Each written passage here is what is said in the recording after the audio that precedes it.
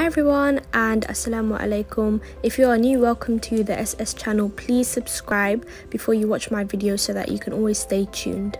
And if you like watching my videos and you enjoy them, please continue to like, comment and subscribe and share around. Thank you.